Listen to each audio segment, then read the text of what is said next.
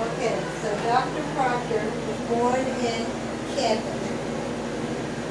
And he went to, the son of Roscoe and Bertram.